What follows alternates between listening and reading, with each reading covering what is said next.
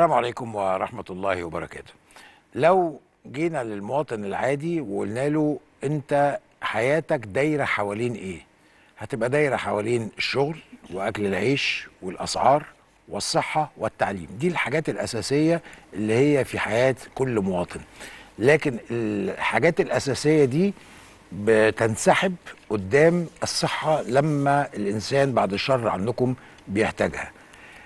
فكل مواطن عايز ياخد أفضل رعاية صحية عايز ياخد دكتور يبقى شايفه كويس قوي بيديله الاهتمام عايز يشوف مستشفى يبقى فيها عايز يلاقي دواء يقدر يشتريه عايز يقدر يتعامل مع كل الأمور على أحسن حال وده حقه. هذا الحق في نفس الوقت بتقابله بعض المشاكل والمشاكل تتعلق بزيادتنا السكانية اللي مخلية عددنا بيزيد بشكل سريع مع الزيادات اللي بتحصل في تطوير القطاع الصحي ففي حالة من حالات الجري اللي بتحصل ما بين تطوير المنظومة الصحية مع أيضا الزيادة السكانية. الملفين مع بعض هم الموضوعات اللي هنطرحها على معالي وزير الصحة والسكان الدكتور خالد عبد الغفار أهلا وسهلا بحضرتك منورنا يا فندم. أشكرك يا أستاذ اسامه معالي الوزير نبتدي بالعكس اللي الناس بتبتديه معاك. أنا عايز أبتدي من عند السكان وهذا السباق اللي بيحصل ما بين الزيادة السكانية والرعاية الصحية وغيرها من الخدمات المقدمة للمواطن. بنعمل إيه في الملف ده؟ وطبعا زي ما حضرتك عارف إن ملف السكان هو آه، ضمن آه، مسؤوليات وزارة الصحة والسكان. صحيح. يمكن في فترات سابقة كانت وزارة آه، السكان كانت ممكن يبقى ليها وزارة لوحديها يعني. زي ما زي ما حصل في الثمانينات. لكن الحقيقة هي زي ما حضرتك تفضلت يعني ال- الدستور نص في مادة صريحة على إن الدولة لازم تعمل على الحد من الزيادة السكانية آه، كجزء أساسي من آه، آه، مسؤوليات الدولة. وفي نفس التوقيت كلنا نعلم وحضرتك يعني في الاقتصاد تعلم إن الزيادة السكانية لازم تتناسب مع أو النمو السكاني لازم يتناسب مع النمو الاقتصادي. صحيح. لو النمو السكاني تعدى النمو الاقتصادي يبقى عندك مشكلة وده اللي حصل عندنا الحقيقة. يعني يكفي بس إن أنا أقول إن إحنا عندنا 5666 مولود يوميا. أو يعني ما يقرب من 5600 مولود يوميا. يعني كل 24 ساعة كل طلعت نهار إحنا عندنا العدد ده بينضاف إلى آه، المنظومة ال- الاجتماعية كلها منظومة. الحياة كلها. بنتكلم على كل ساعة 233 يعني لو حضرتك البرنامج بتاعك ساعتين مع نهاية كل برنامج انت بتتكلم على 466 466 مولود اتولد. وأحيانا أنا باخد 10 دقائق زيادة فيعني ممكن تأثر. الدقيقة فيها أربعة الثانية الثانية فيها مولود وكل دقيقة فيها أربعة. يعني بحسبة بسيطة جدا نقدر نقول إن يعني آه، كل آه، يومين في عندنا حوالي 11000 مولود. إحنا بس نفكر ال 11000 مولود دول محتاجين كم جرعة تطعيم؟ محتاجين كم فصل مدرسة؟ محتاجين كم سرير في مستشفى؟ محتاجين كم فرصة عمل في وظيفة؟ محتاجين كم مكان في جامعة؟ محتاجين كام سكن عشان يسكنوا لما يكبروا؟ ده ده بس يدل على على الجزء ال ال ال أو الإجهاد اللي ممكن ينم عن الزيادة السكانية. فطبعا عشان أدي مثال أبسط مصر سنة 55 كان عدد السكان حوالي 23.5 مليون نسمة. وكنا بنشتكي. وكنا بنشتكي. وكانت في هذا التوقيت ألمانيا اللي هي كانت ساعتها ألمانيا آه، مش الغربية أو ألمانيا الغربية في هذا التوقيت كانت هي عددها حوالي 73 مليون ناس كانت حوالي ثلاث أضعاف مصر. عدد مصر. إيطاليا كانت في هذا التوقيت حوالي 43 آه، آه، مليون نسمة. كانت ضعف مصر. أنا عايز أ- أن- أنقل المشهد لسنة 24 مصر زادت في في ال 69 سنة دول زادت حوالي 83 مليون نسمة. ألمانيا زادت 11 إيطاليا زادت 10 إحنا شعب منتج يا فندم. بالظبط. اقتصاد ألمانيا اللي هو مش منتج بقى يعني لو بنفس التعبير يعني. اقتصاد ألمانيا تطور قد إيه من سنة 55 على مدار 69 سنة وإيطاليا؟ ومصر هذا ال 83 مليون نسمة دول أدوا إلى آه، عبء قد إيه. طيب الكلام ده آه، يعني متوسط أو نصيب الفرد في في في الناتج القومي المحلي في مصر حوالي 4300 دولار آه، في السنة. آه، ألمانيا إحنا بنتكلم على أو 400 دولار في السنة بنتكلم على 45 درهم من 4000 ل 45 دولار في السنة لالمانيا فده بيدل على إيه ان إيراداتك اللي هي بتيجي مع مستوى الدولة واقتصاد اقتصادك اللي مبني على الإيرادات هيتوزع على على الناس كلها. فاللي هيتوزع على آه، آه، عدد 60 مليون غير اللي هيتوزع على 100 مليون غير اللي هيتوزع على 10 مليون. ده ببساطة شديدة جدا. يمكن يعني إحنا مش بنتكلم على موضوع ال- اللي بيخص الاقتصاد بشكل عام لكن هرجع تاني لموضوع الصحة لأن ده اللي أنا بقوله ده كله بيأثر على الميزانية اللي بت- بت- بتوصل لوزارة الصحة بين- بيأثر على عدد المستشفيات اللي أنا مطالب إن أنا أعملها عشان أواكب هذه الزيادة السكانية المضطربة. م- العدد ال- ال- الأطباء اللي لازم يكونوا متواجدين علشان يخدموا على هذه هذا العدد من المواطنين. اذا هي هي ال- السكان. طبعا أنا بحكي واقع لكن إحنا في نفس التوقيت ال- الخبر السعيد إن إحنا تحسنا بشكل كبير جدا من 2014 للنهاردة. يمكن فعلا؟ حد ما يتصورش إن إن إحنا حققنا ما كنا آه، في 2014 بنتكلم على حوالي 3 و4 من عشرة وقرب أقل من 3 يعني كل سيدة في معدلات سن الإنجاب اللي هو من 15 ل ل 39 سنة آه، كانت كان عندنا حوالي 3 و4 من عشرة. يعني كل 10 سيدات بيخلفوا حوالي 34 طفل. النهارده إحنا بنتكلم على 2 و8 من عشرة وآخر مساحات في الجهاز المركزي للتعبئة العامة والإحصاء بنتكلم على 2 و7 و2 و6 تحسن شديد جدا في عدد المواليد يعني بقت ال... إحنا النهارده بنتكلم على نسب نسب ال- الإنجاب وبنتكلم على الزياده السكانية، الزياده السكانية اللي هي الفرق ما بين المواليد والوفيات. صحيح. إحنا النهارده بنتكلم على الأعمار طبعا مرة بتاعت الناس مع التقدم. زادت ومع ومع تحسن الخدمات الصحية.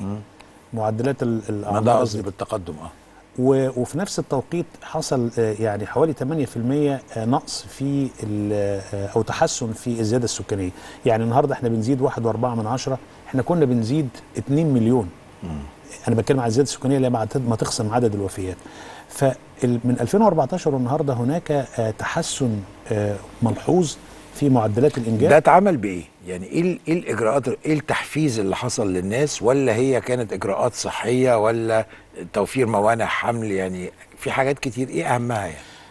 أنا عايز أقول إن إن دي اولا في المشروع القومي لتنمية الأسرة اللي أطلق من سنتين في فبراير من خلال سيادة الرئيس. ال- التكليف سيادة الرئيس لقطاعات الدولة المختلفة. وإحنا يمكن النهارده على عصرا كان عندنا اجتماع مطول بحضور آه، أو برئاسة دوله رئيس مجلس الوزراء وبحضور وزيرة التخطيط وزيره التضامن الاجتماعي ورئيسه المجلس القومي للمرأة ورئيس المجلس القومي للسكان. وكان ده اجتماع دوري بيحصل لمناقشة التطور القضايا السكانيه يمكن ما بيحصلش تسليط الضوء عليها كتير لكن أرجع تاني للإجابة. إجراءات كتير جدا اتعملت من خلال الدولة سواء من خلال توفير وسائل منع الحمل المتطورة جدا وفي بالمجان في كل وحدات الرعايه هي بقى. ملهاش أعراض جانبية وملهاش خالص. ابتدينا نشتغل على توعية من خلال الوعظات ومن خلال ال- آه، ال- الرائدات الريفيات. ابتدينا نشتغل على آه، التعامل مع ال- الوعي من أول النشء من أول المدارس للجامعات. آه، نتوسع في فكرة إن ال- الكنيسة وال- والأزهر علشان يكون في توعية من خلال إذاعات القرآن الكريم. طب التوعية مهمة لكن التحفيز أكيد مهم برضو وم- والتحفيز ممكن ما يكونش دور وزارة الصحة والسكان قد ما هو دور مجموعة مجموعة عمل من الوزارات المختلفة إن أنا أقول هنا والله هزود دعم هقلل دعم هقدم مزايا هقلل مزايا. يعني ده بالع... فعلا يعني إحنا النهارده كان كانت الدكتورة هالة بت... بت... بتعرض الشكل النهائي للحوافز الإيجابية. إحنا دايما بنقول في حوافز إيجابية وفي حوافز سلبية. الحوافز الإيجابية بمعنى إن إن يكون في آه، زي آه، آه، نموذج من مش القرض ولكن الوديعة اللي هي بتسلم لكل سيدة عند بلوغها لسن معين إذا تم آه، التزامها بطفلين على حد أقل على فكرة إحنا بطلنا نتكلم على عدد الأطفال. إحنا بقينا الرسالة دلوقتي لو تذكر زمان آه، كان في كلام دايما على آه، يعني حتى الإعلانات اللي هي موجودة في ذاكرة كلنا كانت كان دايما على الأعداد والأسماء. حسنين ومحمدين أو. اتنين كفاية أو ما شابه ذلك. يعني النهارده العالم كله بيتكلم على الخصائص السكانية. ومعنى كلمة الخصائص السكانية هي إقناع الأسرة والأم قبل الأب والأب قبل الأم إن وجود طفل أو طفلين هيدي مساحة للتربية وهيدي مساحة للاهتمام النفسي والاهتمام الاجتماعي والاهتمام بالصحة. الناس بتستجيب لده؟ ما هو النتائج دي بتقول إن إلى حد طبعا إحنا مش ده المستهدف عندنا. لما تيجي تقول لي 2.8 من عشرة أو 2.85% اللي هو معناه إن كل 10 سيدات بيخلفوا 28 طفل هو أنتوا مستهدفين قد إيه؟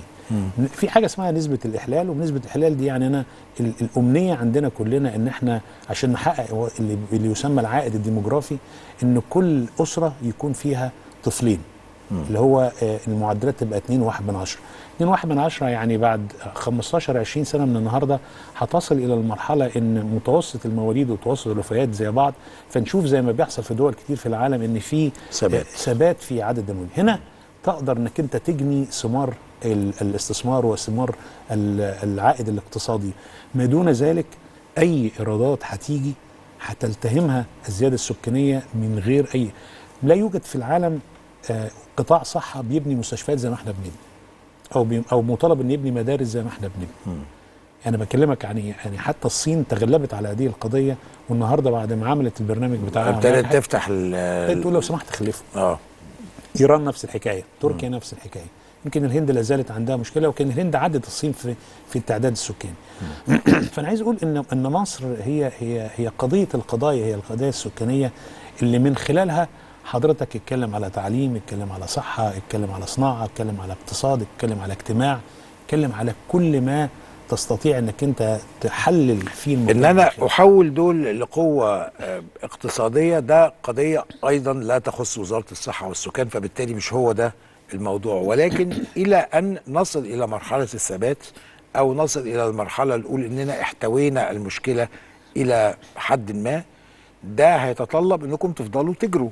إنكم زي ما حضرتك قلت بناء مستشفيات وقد يكون بناء مستشفيات مهم ولكن الأهم هو التجهيز جوه المستشفى ووجود الطاقة البشرية.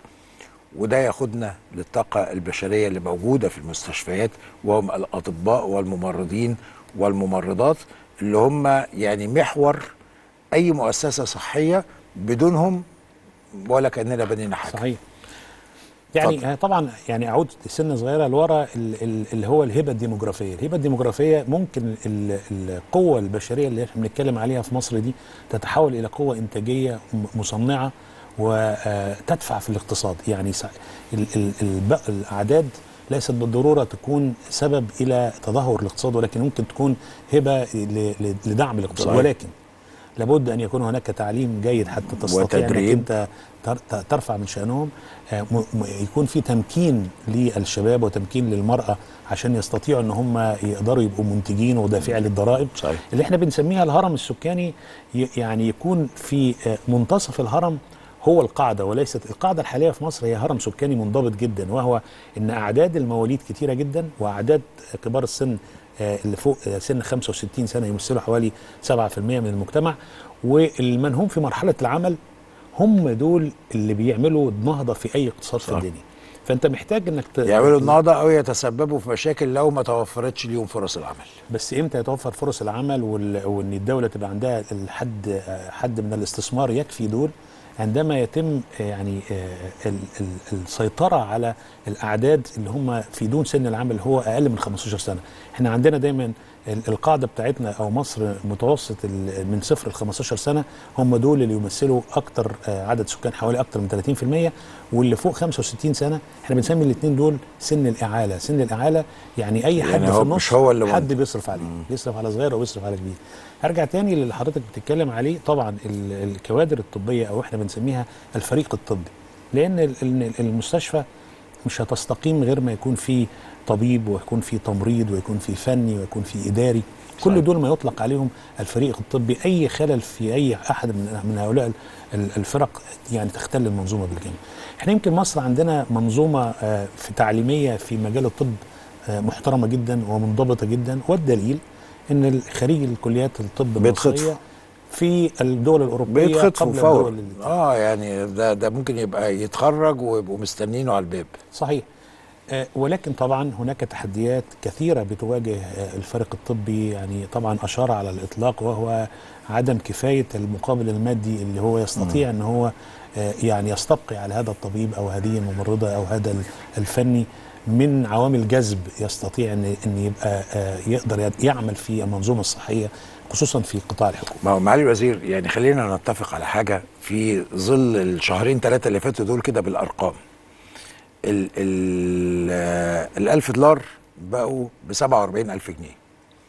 فبالتالي مفيش حد هيروح في أي حتة هياخد 1000 دولار. ده هياخد يعني لو هو بيقول بسم الله الرحمن الرحيم هياخد له 3000 دولار. فالتحدي كبير. يقابله إن إحنا محتاجين أعداد أكبر عشان خاطر لما ناس تمشي تبقى ناس موجودة. تابعت تصريحات لحضرتك بس أنا أعتقد إنها تصريحات كانت غير منضبطة من الجانب اللي نقلها. إن أحيانا حضرتك بتقول إن هناك تخمة في العدد وأحيانا تقول هناك ندرة في العدد أيهما عشان نوضح الحتة دي ده سؤال مهم جدا ابدا ما كانش فيه أي يعني خطأ في التعبير ولكن إحنا بنقول الفريق الطبي في أطباء بشريين في أطباء أسنان في صيدلة في علاج طبيعي في تمريض في تخصصات مختلفة داخل طيب. المنظومة الصحية يعني. الأرقام أو النسب العالمية اللي بت بتقول إن لكل آه، 10000 مواطن ليهم كام طبيب بالنسبة للأطباء البشريين إحنا أقل من المعدلات العالمية. هنا بتكلم على مش عدد الخريجين بتكلم على عدد العاملين في القطاع الحكومي في عدد ال- ال- الأطباء. وبالتالي إحنا آه، ما عندناش زيادة فيما يخص الأطباء البشريين. لو انتقلت و- وبالمناسبه إحنا بنخرج حوالي 14000 آه، طبيب, طبيب. سنويا من الجامعات المصرية بالتخصصات المختلفه بيتكلفوا بشكل أساسي في آه، المستشفيات الحكومية طبعا وزارة الصحة وما شابه ذلك. لو انتقلت من الأطباء البشريين رحت للصيادلة على سبيل المثال. يبقى هنا أنا عندي نقص هناك. بقى عندي عدد كبير عندي 18000 صيدلي بيتخرج وممكن يكون احتياجي 4000 سنويا اذا أنا عندي وحتى بالنسبة للمعدلات العالمية لكل 10000 مواطن أنا عندي أربع أضعاف المعدلات العالمية في الصيادلة في في طب الأسنان إحنا عندنا تقريبا يعني عدد آه، ضعف بسيط. يعني ما هوش الاربع أضعاف لكن ممكن يكون يعني في يعني رايحين لأن يبقى عندي ضعف العدد المعدلات العالمية. العلاج الطبيعي يا دوبك إحنا بنتكلم على ال- ال- العدد الموجود حاليا. التمريض العدد ليست بالسيء ولكن هناك سوء توزيع للتمريض في في المستشفيات. عشان كده تفهم ساعات ال- التصريحات ان إن هناك تخمة أو زيادة أو تكدس في بعض التخصصات وهناك نقص في بعض التخصصات وسوء توزيع. في مين اللي شغلته يحل ال- التريكو ده؟ ده ده يعني يعني ببساطة شديدة جدا آه لازم يكون في آه فيما يخص مثلا ال ال ال الأعداد اللي فيها زيادة. إحنا بنحاول دلوقتي نغير في منظومة التكليف من سنتين ونص ورايحين في سنة 25 إن يبقى يعني من آه يكلفوا في وزارة الصحة هو يكلفه في ضوء الاحتياج الفعلي. إحنا كل سنة بنخاطب كل المديريات على 27 محافظة ونطلب من كل مستشفى وكل وحده صحية احتياجاتهم من خلال equation معينة عشان نقدر نطمئن على أنت هتودي الطبيب ده فين وهتودي الصيدلي ده فين في- وتودي طبيب الأسنان فين وعلاج الط- الطبيعي وهكذا والتمريض طبعا. هو الفنيين والعوامل الطبية المساعدة اللي هو ال paramedics بيجي لنا طلباتهم من أول سنة 25 إن شاء الله هنحترم هذه الطلبات ونبدأ في آه، تكليف طبقا للأعداد وطبقا التوزيع الجغرافي على حسب المحافظة اللي هي جاي لنا منها الطلبات. طب هو كان بيحصل إيه قبل كده؟ كان بيحصل قبل كده إن من أول واحد في الدفعة لآخر واحد في الدفعة بيتم تكليفه. مع إن القانون ما بيقولش كده. القانون بيقول لوزير الصحة تكليف اختار اللي أنت. محتاجه. الطبيعي المنطق يقول إن أنا عندي مستشفى محتاجة سبعة ما اديلهاش 30 أو عندي احتياج في وحدة صحية محتاجة آه، تلاتة خمسة، ما واحد. 100 وده بالحقيقة ده اللي بيحصل وإحنا بنشوفه وبنرصده. فإحنا حلينا هذه الإشكالية اللي حضرتك بتقول عليها. آه إن شاء الله من بداية من عام القادم من بداية العام القادم آه يعني هناك آه يعني توزيع عادل وهناك آه، تكليف عادل. وهناك أيضا دعم لخريجين ال- الكليات الطب وهناك إجراءات بنعملها بتكليف من سياده الرئيس إن إحنا نحسن من أحوال الأطباء حتى نكون إلى حد ما جاذبين في ظل التنافس ال- والنقص أو على الأقل. غير طاردين طبعا لأن لأن العالم كله بي- بيشتكي من نقص الأطباء ويعني ودايما يعني سياده الرئيس الحقيقة في كل الاجتماعات اللي بيدعم فيها المنظومة الصحية كان دايما همه على مقدم الخدمة لأن مقدم الخدمة هو في النهاية هو الأساس لو أنا المستشفى مجهزة والمستشفى يعني على أرقى ما يمكن لكن الطبيب آه، غير متواجد أو لا يعمل في ساعات العمل المطلوب منها يبقى هتبقى تختل المنظومة. وبالتالي العنصر البشري هو عنصر أساسي وحاكم في نجاح أي منظومة صحية. طيب حضرتك برضو خلينا نتكلم إحنا حضرتك مش بعيد عن الأرض أنت رجليك على الأرض وشايف الواقع. النهارده ممكن الطبيب يبقى موجود ويلاقي شغل والمقابل المادي مش بطال ولكن مش كافي لظروف الحياة دي فبيضطر إن هو يشتغل شغلانتين إن ما كانش ثلاثة وممكن يطبق بال 24 ساعة وأنا شفت أطباء رعاية بيطبقوا بال 24 ساعة وده الحقيقة شيء مؤلم جدا لأي إنسان. صحيح. فده بيتطلب إن الدكتور ده هو بيسعى وإحنا شبابنا مجتهد وعايز يعمل حاجة لنفسه وعايز يكون حياته. إزاي أقدر إن أنا أخليه ما يبقاش عنده هذه هذا الاحتياج إن هو يبقى بيشتغل على الأقل شغلانتين عشان يقدر يوفي احتياجاته. هي ال- ال- الطبيب محتاج أكتر من عامل عشان يعني يبقى يشجعه إن هو يبقى يعني. مفيش شك إن العنصر المادي جزء كبير من من المعادلة دي. والعنصر المادي آه، مش بالسهولة تغييره. حتى لو إحنا عملنا زيادة في البدلات وبنحاول من وقت للتاني مقابل النبطشيات ومع ذلك لكن لكن ليس بالقدر اللي هو زي ما حضرتك بتقول إن هو يغنيه عن إن هو يروح مرة واثنين وثلاثة وبرة وكده علشان يقدر يبقى عنده حد الكفاية فيما يخص بناء أسرة أو يعني احتياجاته. عشان ما يغلطش من كتر الإجهاد. مفيش شك. لكن ال ال ال الحاجة التانية المهمة بالنسبة لأي طبيب آه، يعني خريج حديث هو التدريب والتعليم المستمر. هو عايز يتدرب يعني انتهائه من كليات الطب ليس بالمعنى إن هو يعني دي وصل إلى- شغلانة ملهاش نهاية دي دي شغلانة ملهاش يعني نهاية لكن لازم. لازم دور الدولة ودور وده الحقيقة حصل من خلال المجلس الصحي المصري اللي, اللي تم انشاؤه وأعلن من خلال آه، من سنة 2019 و2020 آه، إن هو بيعنى بيعني بالتدريب المهني للطبيب والفريق الصحي بشكل عام في كل التوقيتات. آه، قانون المسؤولية الطبية وحماية الطبيب من الاعتداءات آه، في أثناء تأدية عمله وده اللي الحمد لله إحنا إحنا كوزارة صحه خلصناه والنهاردة في مجلس الوزراء في طريقه إلى مجلس النواب حتى يتم إجراء المناقشات النهائية ليقرا ليقر كقانون. آه كثير من الإجراءات يمكن أن تكون إجراءات جاذبة ليست فقط الإجراءات المادية هي على على رأس الأولويات لكن الطبيب في النهاية محتاج يحصل على زمالة محتاج يحصل على ماجستير يحصل على دكتوراه. إحنا في وزارة الصحة بنحاول إن إحنا كل الحاجات دي نعملها في ضوء الترشيحات وضوء التخصصات اللي إحنا محتاجينها مع الجامعات ومع الزمالة على حساب وزارة الصحة. حتى لا يتكلف يعني أي تكلفة مادية ولكن هو تحدي صعب وأنا معترف إنها الطريق طويل حتى يمكن آه، أن أن نستبقي هذا الطبيب بطرق جذب تستطيع إنها تحافظ على المنظومة الصحية لأن زي ما قلت لحضرتك العالم كله بي بيعاني من نقص ليه شديد ليه العالم بيعاني من نقص في الأطباء في حين إن الجامعات الكبرى اللي موجودة في العالم قادرة إنها تطلع والبلدان الغنية ممكن إنها يعملوا كده زينا ويبنوا مستشفيات ويعملوا كليات طب يعني ليه العالم المتقدم عنده مشكلة؟ الوظائف الجديدة وظائف التكنولوجيا والرقمنة آه، أخذت من الأجيال. طبعا الأجيال اختلفت عن زمان. إحنا بنتكلم على الألفا جنريشن. الأجيال بتسمى بال... ب... بأسماء حروف وليها طباع.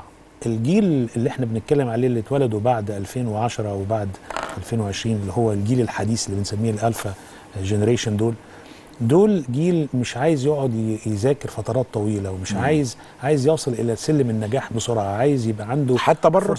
طبعا بس ده جيل. الجيل مش بس جيل في مصر هو جيل النهارده بقى كله زي بعضه حب عنده حب للعمل الخير ومساعدة الآخرين. ما يقدرش يركز في آه، في موضوع أكتر من 8 ثواني. لما تعمل له إعلان لازم تعمله له سريع جدا. لو لو هيذاكر مش هيذاكر بالطريقة العادية اللي هو يقعد على مكتب زي ما إحنا اتعلمنا وشفنا مش هيقدر يسمع محاضرة لمدة ساعة أو ساعة ونص. المعلومة عايز ياخدها بشكل سريع لأن ده ده تكوينه اللي اتولد عليه في عصر التكنولوجيا الرهيبة اللي إحنا بنسميها الثورة الصناعية الخامسة اللي هي غيرت في آه، شكل التكنولوجيا في العالم وغيرت في شكل التكنولوجيا في الطب كمان. فبالتالي ال ال الأجيال دي عايزة ال ال النجاح السريع والإيراد السريع والطب ما بيعملش كده. الطب عايزة صبر ومثابره حتى تستطيع إن أنت بعد 15 سنة تصل إلى المرحلة إن أنت تجني ثمار أو العائد ال- الخاص. فعشان كده في عزوف إلى حد كبير من الدخول في قطاعات العلوم ال- الصحية نظرا لطول الفترة يعني ما بقتش. كلية الطب دي أمل الشباب ويعني الثانوية العامة دي والأم تقول لابنها أنا عايزاك تطلع دكتور وهو يبقى لو ما جابش المجموع بتاع الطب يبقى منهار.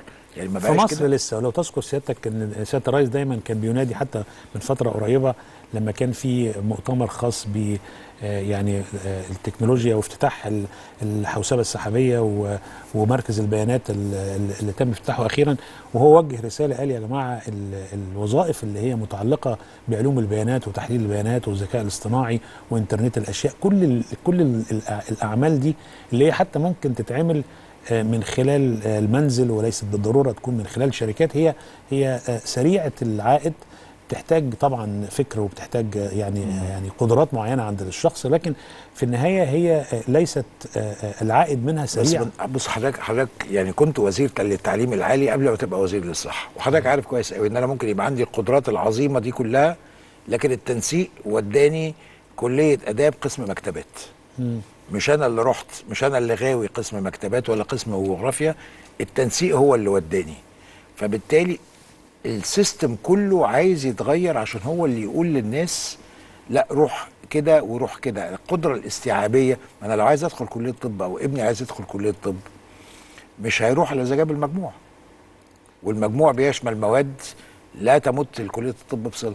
مش عارف يعني هو طبعا يعني إحنا أنا مش عايز أتكلم بحكم يعني إن أنا كنت مسؤول عن ملف التعليم العالي لفترة ليست بقصيرة ولكن أنت حضرت معانا كتير من الحاجات دي. إحنا حلينا كتير من الإشكاليات دي عن طريق إن إحنا توسعنا في منظومة الجامعات الجامعات الأهلية والجامعات التكنولوجية والجامعات الدولية بالإضافة فخلينا إن ال- اللاندسكيب أو خلخلنا الموضوع طبعا شوية.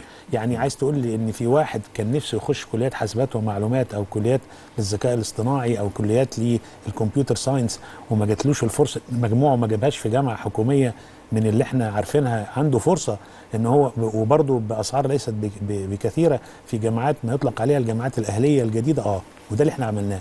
بقى عندك جامعات حكومية عندك جامعات خاصة عندك جامعات أهلية عندك جامعات تكنولوجية عندك جامعات دولية من مشاهد فبقى في مساحة وإحنا شاهدنا الحقيقة برضو إن بقى في آه، يعني إقبال على النوع ده من ال- الدراسات اللي هي ممكن مع الوقت يبقى عنده فرصة وهو بيشتغل في الكلية وهو بيدرس بره مصر.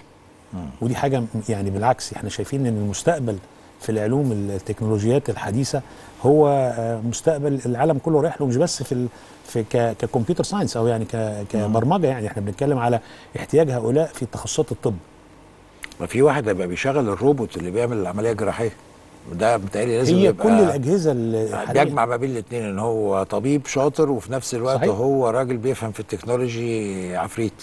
كل التقنيات الحديثة في الطب الحديث اللي إحنا رايحين له في خلال ال- ال- ال- ال 20 سنة اللي جايين دول تعتمد بشكل أساسي على علوم البيانات واللوغاريتمات أو الالجوريزم واستخدام تطبيقات الحديثة زي الذكاء الاصطناعي وما شابه ذلك. وبالتالي في في التجارة هتلاقي في الفinTech وهتلاقي في المتخصصين في الحاسبات والعلوم الإدارة وعلوم الفاينانس من من ال- المتخصصين اللي عندهم خلفية. فدخلنا في كل شيء في علوم البيانات ومتخصصين في تحليل البيانات الكبرى وما شابه ذلك. وطبعا الطب جزء كبير من هذا الوقت طيب إحنا بنتكلم على تقدم كبير عالميا بيحصل في الطب وبنتكلم على تقدم بيحصل عندنا في مصر لكن بيتبقى مجموعة من الأسئلة وعلى رأسها سؤال بكام؟ ممكن نتكلم بعد الفاصل في الموضوع ده نلتقي بعد الفاصل.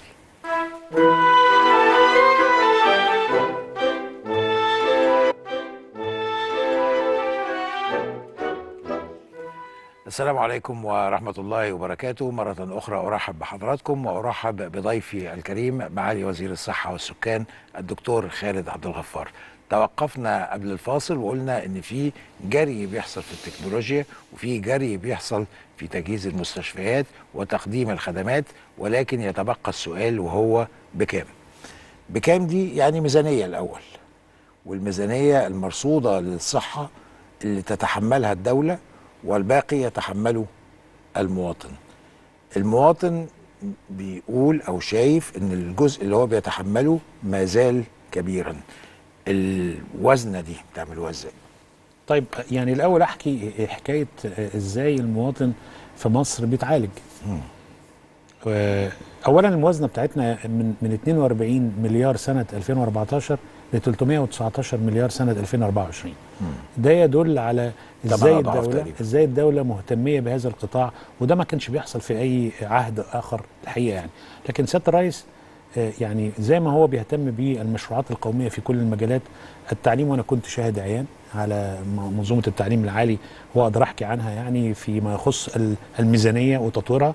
ولكن في الصحة أنا بقول 42 ل 319 ده خير دليل لكن هو السؤال ممكن تقول لي هو 319 دول يبدو إن هم رقم كبير جدا بالنسبة لل لكن في ظل ال 106 مليون مواطن اللي هي الساعة السكانية النهارده أعلنت 106 404 ألف مواطن آه، من من ساعات يعني لو قسمت المبلغ ده على ال- الرقم ده هيطلع الرقم زي ما قلت لحضرتك قبل كده الناتج أو متوسط الفرد في الناتج القومي المحلي يبقى أقل. فبالتالي الرقم ده لو لو أنا بتسأل أنا محتاج قد إيه علشان أحقق كل الأماني اللي إحنا ممكن عايزينها أنا محتاج تريليون. تريليون سنويا بدل 319 بس مش كل المصريين بيتعالجوا في مستشفيات الدولة ولا في صحيح. آه، ولا حتى مستشفيات الجامعية. يعني في ناس كتير قوي بتلجأ للعلاج. الخاص. ما أنا هحكي لك المنظومة ماشية إزاي. لو إحنا قلنا ال 106 مليون دول هقسمهم لك بالظبط. في عندنا تقريبا من 65 ل 69 مليون مواطن متأمن عليهم كمواطن كشخص. اللي هم العاملين في القطاع الحكومي وقطاع الأعمال في الدولة. ده معاه بطاقة اسمها بطاقة التأمين الصحي اللي هو بدأت في مصر في الستينات. ده محدش مش هيبقى عارف ده. ده آه، بيروح. مش معنى إن اللي, اللي بيتعالج في هذه بهذه البطاقة إن ده أحسن علاج في الدنيا. أنا بقول إن هو من حقه إنه يذهب إلى العيادة التأمين الصحي ثم يتم تحويله إذا لا إذا احتاج الأمر إلى مستشفى من مستشفيات التأمين الصحي أو المستشفيات التي متعاقد معها التأمين الصحي اللي ممكن بالمناسبة تبقى مستشفيات قطاع خاص. ويتمتع في هذه الحالة هؤل- هؤلاء المرضى أو المواطنين بميزة أنه مؤمن عليه من خلال هيئة المعاشات والتأمينات ومن خلال وظيفته الحكومية أو الشبه ومن خلال اشتراكاته اللي بيدفعها وهو ماشي. صحيح. النموذج الآخر اللي هو ماذا عن باقي ال- المواطنين اللي هم فوق ال 65 مليون مواطن المؤمن عليهم اللي هو الاقتصاد الموازي الذين لا يوجد لهم وظيفة يعملون في وظائف حرة صياد فلاح ودول عددهم مش قليل أو أسرة المواطن اللي أنا بحكي عليه ده اللي هو لأن اللي أنا بحكي عليه ده ده المواطن فقط ولا يوجد تأمين لا لأبنائه ولا لزوجته. ويمكن ده اتعالج في منظومة التأمين الصحي الحديثة اللي هي التأمين الصحي الشامل إن بقى ده نظام تكافلي ولكافه أفراد الأسرة وبالتالي عند تطبيقه فكل ال- الأفراد الأسرة مؤمن عليهم القادر والغير قادر لأن هناك الدولة بتكفل الغير قادر. لكن هرجع تاني. في أيضا نموذج آخر وهو العلاج على نفقة الدولة. علاج نفقة الدولة هو قرارات يذهب المواطن ال- الذي لا تأمين له لا تأمين خاص ولا تأمين حكومي. كل ما يمتلكه هو رقم قومي. بيذهب إلى المستشفى بي- بيكشف في المستشفى. ممكن يكون في هذا الوضع بيقطع كشف في مستشفى حكومي مركزي أو عام. يعني حد أقصى الكشف 10 جنيه. وفي هذه الأحوال بيتم يا إما وصف الدواء له وبينتهي هذه المشكلة أو إذا كان محتاج عملية جراحية المستشفى تتولى آه، رفع البيانات العملية إلى منظومة ده بيتم بيسر يا فندم؟ جدا ومميكن. يعني أنا عايز أقول إن ممكن ياخد يوم. ده في حالات اللي هي لي- ليست حالات طب ليه طارئة. ناس كتير بتكلمنا ويقول لك شوفوا لنا واسطة عشان خاطر عايز علاج ما عادش. الدولة ما عادش الكلام ده كله وأنا. مسؤول عن هذا الكلام. يعني ممكن يكون في بعض المستشفيات مكان أو أو آخر بيتم تأخير القرار لكن لكن أنا أول واحد لأن أنا يعني يعني سهل الوصول الي في في في الشكاوى آه، ما بتلقاش المشكلة دي. يمكن بتلقى مشاكل في الحصول على سرير رعاية على حضانة ده أكتر وأنا معترف بكده وبنحلها. لكن ال- الحصول على علاج على نفقة الدولة بتاخد ما بين دقائق ليوم أو يومين في حسب المستشفى مكانها فيه. ده كلام عظيم. فإذا هؤلاء بيطلع لهم قرار والقرار ده لا حد أقصى له. الدولة في نفقة الدولة عشان أدي لحضرتك أمثلة بنطلع 11360 قرار يوميا. 11360 قرار يوميا. 350 ألف قرار شهريا. بنطلع 2 مليون قرار سنويا. تكلفة ال- ال- القضية دي في السنة 45 مليار جنيه. أنا بكلمك هنا على التأمين الصحي الحالي اللي هو موجود. قبل التطوير اللي بيحصل دلوقتي. بالظبط يعني قبل قبل- الجديد آه. قبل المنظومة الجديدة. عندنا زي ما قلت من 65 ل 69 مليون منتفع صرفنا في العشر سنين اللي فاتوا دول بس من 2014 طب إزاي هم للنهاردة. 65 مليون منتفع في حين إن أسرهم مش موجودة ده إحنا كده نبقى بنتكلم على تعداد سك... بنتكلم على إن إحنا بنعالج 300 مليون مش 100 مليون ما هو مش بس ال- إحنا لا إحنا بنتكلم على دول ال- اللي عاملين في القطاع الحكومي وبنتكلم على ال- تلامذه المدارس تلامذه. المدارس بالظبط كده دول كلهم مؤمن عليهم و- والجامعات دلوقتي ده إحنا بنحاول بنحاول ندخلها علشان تخش في منظومة التأمين الصحي وبرضه بعض القطاعات ال- الخاصة وقطاع الأعمال بيأمن على ناسه عندنا في التأمين الصحي ده اللي عمل ال- العدد. وبنحاول نتوسع في المنظومة دي عشان نقلل العبء على نفقه الدولة.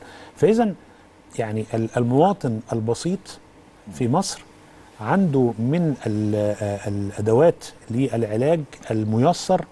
طبعا ما بنقولش إن ده أحسن علاج في الدنيا لكن أنا بقول إن إن في حدود الإمكانيات بداية. المتاحة. لما بنتكلم على 45 مليار سنويا في منظومة التأمين الصحي لما بنتكلم على قوائم الانتظار 19 مليار جنيه سنويا أو 19 مليار سنويا في آخر ثلاث سنين لكن إحنا بنتكلم على متوسط 2 مليون عملية جراحية لعدد من المواطنين حوالي 2.2 من عشرة مليون مواطن قوائم الانتظار يعني؟ يعني قلب مفتوح يعني تغيير مفاصل يعني مخ وأعصاب يعني آه، آه، زراعات كلى يعني زراعة قوقعة يعني عمليات رمد كل الإجراءات دي بنحاول طبعا تغيير مفاصل كل الإجراءات دهيت فإذا طبعا هناك منظومة أخرى لل out of pocket اللي هو المريض اللي هو بي pay من جيبه بيعمل. أو متعاقد مع شركة تأمين خاصة اللي إحنا رايحين له في الفترة اللي جاية هو إن يكون هناك توسع في تطبيق منظومة التأمين الصحي الشامل حتى تشمل كافة المقيمين. على أرض جمهورية مصر العربية المقيمين آه طبعا يعني إحنا يعني مش بنتكلم على المواطنين بنتكلم على كل المقيمين كل المقيمين على الم- طبعا اللي هو يس- اللي هم يعني بي pay بشكل رسمي. بيدفعوا اشتراك أو اللي هو الدولة بتتحمل عنهم الاشتراك في نظام الظل التكافلي اللي هو آه، ما بيبقاش مؤمن عليه. وبالتالي يعالج المواطنين بنفسه. وطبعا إحنا طبقنا الكلام ده أنا آسف هقاطع حضرتك معلش بس يعني الموضوع بس تبادر ليا وحضرتك بتتكلم. إحنا بنتكلم على عدد غير قليل من ضيوف مصر سواء كانوا لاجئين أو إحنا ما بنقولش لاجئين هم ضيوف مصر. دول بيعالجوا إزاي؟ ده سؤال مهم لأن إحنا طبعا عملنا دراسة في وزارة الصحة على آه، آه، الحجم العمل. لكن أنا هدي لك مثال بسيط يمكن آه، تشبيه يعني يخل بال بال بال بالتشبيه. أزمة غزة. إحنا استضفنا حوالي 5400 آه، مصاب وجريح من 1 نوفمبر للنهاردة. ده غير الناس اللي عندها سرطان وأمراض مزمنة منهم منهم من أصحاب الأمراض المزمنة آه ولكن في ظل آه دعم الدولة و- وتعليمات سيادة الرئيس والأجهزة المعنية اللي سيادتك تعلم إن هي هي بتسهل عملية دخول المرضى بشكل يومي لحد ما نصل إلى مستشفيات وزارة الصحة و- ورصد 150 عربية إسعاف و160 مستشفى فيها مرضى بيعالجوا التكلفة قد إيه؟ أكيد ضخمة ومين اللي تحملها؟ أكيد الدولة من موازنة الدولة المصرية. فإذا- من فلوس الشعب المصري هرجع بالتاريخ تاني آه، لورا بس ده دورنا وده تكليف من سيادة الرئيس و و وبنعمل كده وأكتر ده دور وبحب مصر طول عمره وبحب ودون التأثير على آه، أيضا على دورنا لعلاج المواطنين. لو رجعنا السنة اللي فاتت كان عندنا نفس الأزمة يعني مع آه، نزوح السودانيين على الحدود الجنوبية لمصر. بالإضافة للي حضرتك قلتهم اللي هي طبق طبقا للمنظمات الدولية منظمة الهجرة الدولية اللي هي اللي أعلنت بالمناسبة إن في مصر 9 مليون آه، آه، يعني سميهم ضيف سميهم آه، لاجئ موجودين سميهم على مصر، على باي أرض طريقة مصر. سواء بقى هم مسجلين أو غير مسجلين لكن هو بالنهاية هم موجودين وده مش مش تعدادنا إحنا ده تعداد ال- المؤسسات الدولية وأي حد يقدر يكتب منظمة الهجرة الدولية هيقدر يخش هيلاقي فيه report على على على الإنترنت يقول له بالظبط ويقول له متوسط عمرهم قد إيه وتوزيعهم على المحافظات في مصر قد إيه ومنهم اللي بقالهم كام سنة ومنهم اللي اندمج في الحياة الاجتماعية ومن غيره. لكن أرجع تاني على السؤال. طبعا ال- يعني هؤلاء عند احتياجهم إلى آه، عناية آه، طبية بيتوجهوا إلى مستشفيات وزارة الصحة المجانية طبعا اللي هي المستشفيات العامة والمركزية وبتلقوا العلاج وبتقبلهم. ما انت انت امام لا تستطيع صحيح. في هذه الأمور. مش من حق حد إنه يرفض علاج أي أي إنسان. لكن إحنا الحقيقة برضو بنتوجه دلوقتي للمجتمع الدولي للاطلاع بمسؤولياته لأن هذا هو حمل ثقيل آه، على الموازنة العامة للدولة وعلى موازنة يعني أنا لما بكلمك على الموازنة بتاعتي 319 سواء من الأبواب المختلفة ما هو في جزء منها معني بالأدوية والمستلزمات والمستهلكات اللي هي بتحمل الدولة آه، مش فقط آه، عملة محلية ولكن آه، انت عارف ان جزء يا إما مستورد يا إما المادة الخام بتاعته مصنعة في الخارج. صحيح. يعني إذا إحنا إحنا 80% من من اللي بنحتاجه في القطاع الطبي هو هو مستورد وبيحتاج إلى آه، العملة الحرة. وبالتالي أنت هنا ال- الميزانية بتاعتك بتحاول إنك أنت آه، تؤدي ال- الدور اللي عليك وأي ظروف طارئة اللي مصر بتتعرض ليها أثناء آه، يعني آه، ال- آه، الزمن بنتعامل معاها برضو في فده يعني حضرتك تتعاطف مع المواطن اللي بيقول لك لا اللي موجودين على أرضنا دول هم آه ناس كويسين وعلى رأسنا لكن هم بياخدوا من حقوقنا ومن الخدمات المقدمة لينا. يعني تتعاطف مع ده وتقول لهم لا الدولة راصده ما هو أكثر لذلك. يعني إزاي أبص لها؟ لأن أنا بسمع الرأيين وبحاول أفهم أيهما يبقى بالنسبة لي أقرب سواء إلى قلبي أو إلى عقلي. يعني أنا هتكلم من الناحية الإنسانية الطبية لأن من الناحية الإنسانية الطبية المرض لا يفرق ما بين غني وفقير ما بين لاجئ ومقيم. ده مرض. في نهاية الأمر أنت أمام إنسان يتألم لا تملك على المستوى الإنساني وليس له أي علاقة حتى بالانتماء الديني لكن على المستوى الإنساني لا تملك إنك أنت تقف عاجز أمام تقديم أقصى ما يمكن عمله في الرعاية الطبية. وهذا هو ده هو دور مصر يعني الذي تم يعني تكلفنا بيه. يعني لو بتكلم على أزمة غزة على سبيل المثال لأنها حاضره في ذهني لأن أنا تفاصيلها كلها وحضرتك رحت كذا مرة وكنت كتير. موجود. آه. واصطحبنا كل المؤسسات الدولية وال- واللي شهدت إن اللي, اللي قامت بيه مصر واللي لا زالت بتقوم بيه مصر. ما فيش دولة في العالم عملت اللي عملته مصر لهذه القضية عبر الزمان وخصوصا في في الأزمة الأخيرة. لا يوجد لأن فكرني مين عالج لا لا هذا. الكم. لا لا فكرني. مين لا ساعد لا. الكميات. ما, ما تحاولش حضرتك تسأل السؤال ده لأن هو ما فيش وبالتالي كل الجهات التي تعمل اللي, ليل نهار. اللي بياخد 20 واحد ده بيبقى يعمل عليهم فرح يعني. وإحنا ساعدنا كثير من الدول بنقل بعض المرضى آه، ليهم يعني حتى يكون هناك يعني آه، يعني آه، نوع من أنواع المساهمة في العلاج. لكن يبقى دائما في ملفات كثيرة وعلى رأسها ملف كل من له مشكلة في بلده أو كل من هو لجأ إلى مصر سواء مجبر أو سواء يعني آه، يعني الظروف آه، ضغطت عليه. حتى استضافته مصر والمنظومة الصحية اللي أنا أستطيع إن أنا أتكلم عليها بكل ود وبكل ترحاب طيب نرجع لموضوع بكام؟ وحضرتك كنت بتكلمنا على الموازنات المرصودة لهذا الموضوع وتقسيمة التأمين الصحي السابق ثم الجديد وهو الشامل. المنقسم على ما أعتقد لثلاث قطاعات مختلفة. منظومة التأمين الصحي الجديدة اللي هي آه. آه. منظومه تمشي بالفعل هي الدولة لما آه، لما بدأت في هذه المنظومة أنشأت ثلاث كيانات لإدارة منظومة التأمين الصحي. آه، الكيان الأول وهو الهيئة العامة للتأمين الصحي الشامل وهي الجهة التي تدفع أو تشتري الخدمة. آه، وتتعاقد على الخدمة سواء مستشفى خاص أو عام أو أهلي أو ايا كان يعني. ثم الجهة التي تقدم الخدمة وهي الهيئه العامه للرعايه الصحية. اللي هي المستشفى وال المستشفى والوحدة الصحية والعيادة هي الجهة اللي اللي بتقدم الخدمة وتقدم الخدمة ثم تحاسب عليها الخدمة من خلال الهيئه العامه للتامين الصحي الشامل. ثم الجهة الثالثة وهي الجهة المهمة جدا أيضا وهي الجهة التي تراقب على الخدمة وهي الجهة الهيئه العامه للاعتماد والرقابة الصحية التي تعتمد المنشأة حتى تنضم إلى منظومة التأمين الصحي وتعتمد المكان وتراقب على المكان حتى تطمئن. تراقب آه فالثلاث هيئات دول طبقا لل- للمقاييس العالمية هم آه، محور أداء آه، منظومة التأمين الصحي الشامل اللي هي بدأت في آه، ست محافظات. إحنا بنتكلم على محافظات بورسعيد والأقصر والإسماعيلية وأسوان وطبعا جنوب سيناء والسويس. ورايحين في مرحلة تانية. طبعا 6 مليون مواطن مقيدين في في المرحلة الأولى. يعني يعني دي تكلفتنا حوالي 5 51 مليار جنيه. لأن طبعا الإنشاءات اللي فيها والتطوير والمستلزمات حتى تكون على القدر من من ال الجودة التي تسمح بها الهيئة العامة للاعتماد والرقابة الصحية. لكن 362 منشأة تم تطويرها في المحافظات اللي حكيت لحضرتك عليهم دول. رايحين للأصعب رايحين رايحين لكفر الشيخ ودمياط والمنيا ومطروح وشمال سيناء في الفترة اللي جاية بتكليف من سيادة الرئيس. ان أنتوا هتبتدوا ت- تعملوا اكسبانشن أو رايحين لما يقرب من 12 مليون مواطن. آه، رايحين لتكلفة يعني تصل إلى آه، يعني حوالي 80 مليار جنيه عشان أقدر إن أنا آه، أرفع كفاءة المنشآت الصحية. أنا بقول كده ليه؟ لأن يعني من خلال دور وزارة الصحة ومن خلال الدعم اللي أنا قلت لحضرتك عليه في الموازنة ببساطة شديدة جدا إحنا بنشتغل في 1214 مشروع في نفس التوقيت في كل محافظات مصر. يعني واحد يقول طب أنتوا يعني سايبين محافظات المرحلة الأولى والمرحلة الثانية طب ماذا عن سوهاج؟ ماذا عن قنا ماذا عن آه، ال- الغربية؟ ماذا عن الشرقية؟ ما سيبناش محافظة مش موجودين فيها بحوالي 145 مليار جنيه. إحنا بنتكلم على كم من المشروعات اليومية اللي بتتم.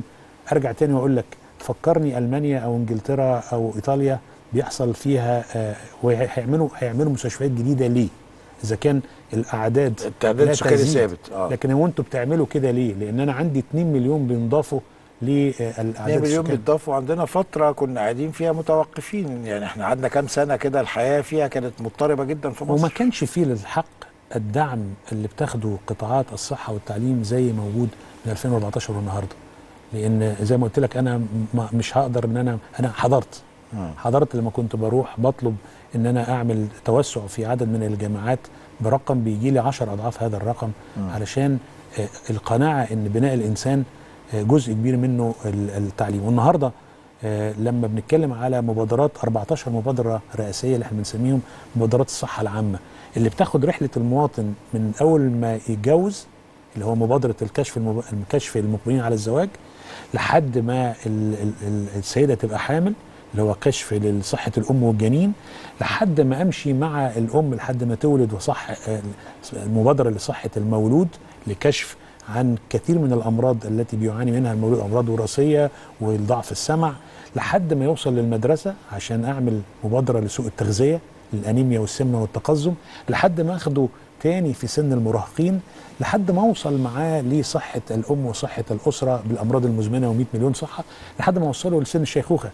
الشريط اللي أنا بحكي لحضرتك عليه ده هو الفرق ما بين منظومة الصحة بتتعامل مع مريض فتبني له مستشفيات لما يعيا تعالى هعالجك أو بتتعامل مع اللي إحنا بنسميه الوقائي إن أنا عايز أكتشف ال- المرض. عشان أرحمه وفي نفس الوقت أرفع عن كاهلي إن أنا أتكلف علاجه فأنا ممكن ألحقه. ده, ده سؤال مهم جدا اقتصاديات الصحة. الجنيه اللي بتكلفه النهارده بيوفر عليك قد إيه صحيح. في المستقبل وداخلين في شيء في, في منظومة جديدة تماما وهي التنبؤ بالمرض. يبقى إحنا من العلاج إلى الوقاية إلى التنبؤ. فحد يقول تنبؤ إزاي يعني؟ الخريطة الجينية جينوم بقى. الخريطة الجينية اللي, اللي إحنا اللي سياده الرئيس صدى عليها من سنتين والنهاردة بقى عندنا آه، آه، مراكز آه، للرسم خريطة جينات المصريين. علشان تقدر انك انت تشوف ليه الدواء عند نفس المريض اللي عنده نفس المرض بيجيب نتيجة وده ما وده ما بيأثرش. وهو بيسمى الطب الشخصي أو الطب التخصصي. طيب يعني المبادرات كثيرة. يمكن لما كان زمان بتطلع مبادرة فكانت بتسمع وبتجيب لأنها كانت واحدة. دلوقتي لما بيبقوا واحدة ورا واحدة ورا واحدة ورا واحدة فيها ميزة إنها بتحقق حاجة لكن فيها عيب إنه إحنا مش ملحقين وراكم صح. طب هو إيه؟ فالكلام فما فيش يعني أنا- أنا لو بذيع برنامج ده مرة في الأسبوع هديله حقه في الدعاية. لما أذيعه كل يوم مش هديله حقه في الدعاية. فده اللي حاصل معاكم اللي مخلي الناس آه، ما إحنا مش شايفين بقى إحنا مش عارفين إحنا إحنا إيه. فهسألك السؤال البايخ. متى يشعر المواطن بأن الخدمة الصحية في مصر انتقلت نقلة كبيرة عما سبق؟ أنا معترف إن إن إن إحنا في ظل الدعم وظل الإمكانيات المتاحة حاليا آه، ما حققناش طموحات المواطن المصري وإلا أبقى أنا يعني آه، بخدع اللي بيسمعني وبخدع نفسي وإلا إن إحنا موص... موص... لكن التحديات كتيرة جدا. إحنا بنعمل بشكل كبير جدا ومجهود كبير جدا. علشان أنا أتصور إن النقلة النوعية في في في الإجابة على سؤال حضرتك هو تطبيق منظومه التأمين الصحي بشكل كامل. فواحد هيسمع يقول يعني انت عايز استنى 10 سنين من النهارده لحد آه، ما توصل ان كل محافظات مصر تبقى متغطية. والإنسان ممكن يعيا فيهم ما هو لا ما إحنا عشان كده عاملين بدائل. يعني أنا أنا ما سبتش أي محافظة أو أي إنسان لسه ما انطبقش عليه منظومة التأمين الصحي من غير ما يكون في دعم. راضي على نسبة كبيرة منه ما لا شك فيه لا نرقى إلى أحسن من كده. لكن اللي بنعمله جديد بنعمله بأحدث ما يمكن آه، من تجهيزات ومن معدات ومن ومن دعم للمنظومة الصحية. لكن تحدي في دولة بتزيد بهذا الحجم وفيها 106 مليون مفيش شك إن الموضوع آه، يعني في تحديات أكتر بكتير جدا من الإنجازات وده خطوة بنعملها. لكن اللي أنا عايز أقوله إن آه، إن إحنا لسه راجعين من جنيف من منظمة الصحة العالمية من يومين بالظبط يعني. إحنا كنا مدعوين على كل ال ال ال الإجراءات وكل الفعاليات على هامش المؤتمر لحكاية مصر مثلا في فيروس سي ما هو إحنا يعني إحنا نعرف منين إذا كنا نجحنا ولا لأ؟ هل معدل العمر للإنسان المصري زاد ولا ما زادش؟ في آخر 10 سنين زاد. نتكلم على قرب ال 70 سنة للرجال وحوالي 72 أو 73 سنة للسيدات. دي اسمها ال health indicators أو ال- ال- مؤشرات المؤشرات الصحه الصحية. هل معدل الوفيات آه، للأطفال أو معدل وفيات الأمهات؟ انخفض. يمكن عندنا مشكلة في الأطفال لسه بالتحدي لكن مع- معدل الوفيات في الأمهات أو في الحوامل قل ولا ما قلش؟ هل الاكتشاف المبكر للأمراض الوراثية أو الأمراض المزمنة زي السكر والضغط الاكتشاف المبكر للاعتلال الكلوي الاكتشاف المبكر للأورام هل حققنا نتائج في فيروس سي اللي كانت مصر أول دولة على العالم بتعاني من فيروس سي؟ هو الكلام ده إحنا ما هو ده دليل على إن إن اللي اتعمل في خلال العشر سنين اللي فاتوا كان صح وإلا ما كنتش حصلت على شهادة سليم. ما حصلتش على شهادة الإخلاء من من فيروس سي من منظمة الصحة العالمية كأول دولة في العالم اللي هي المفروض تستنى لحد 2030 وبشهاده شهادة عالمية. ما كنتش حققت في أورام الثدي عند السيدات نتائج من 70% من نسب آه، المرحلة الرابعة المتأخرة إلى حوالي 18 19% النهارده.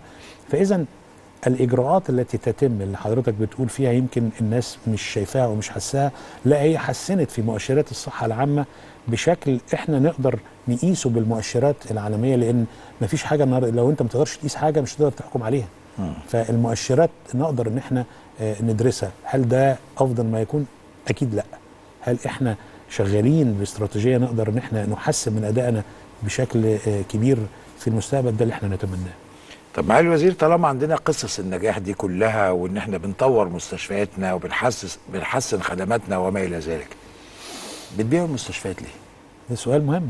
ما ده اولا كلمة بيع دي مش موجودة خالص في القاموس. يعني اللي تبنى الكلام ده الحقيقة ما قراش ولا حتى كلف خاطره إن هو يشوف قانون التزام المرافق العامة. أنتوا هتقولوا إدارة المستشفيات. من القطاع الخاص.